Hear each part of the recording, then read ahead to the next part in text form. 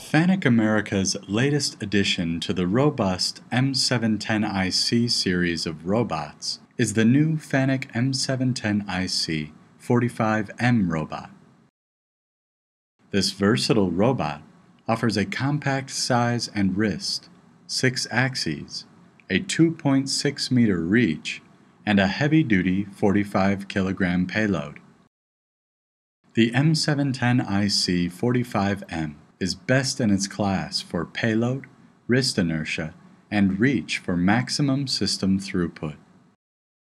In this demonstration of the new FANUC M710IC 45M, the robot is used in a palletizing operation to palletize and depalletize boxes from two different in-feed stations.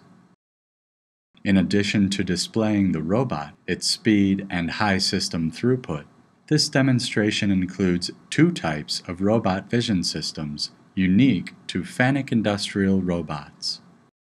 First, FANUC's IR Vision 3DA 1300 area sensor used to identify any layers that may be poorly stacked.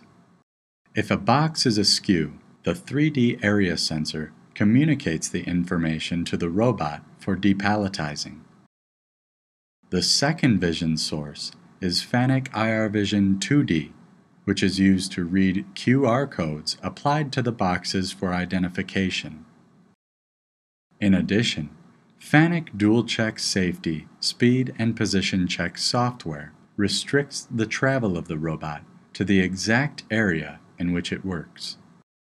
The cost of processing packages is growing quickly in warehousing operations. Robotic systems such as this are designed and built to handle the needs for fast-paced palletizing applications. To learn more about the new FANUC M710IC 45M and FANUC's full line of palletizing robots, please visit robot.fanucamerica.com.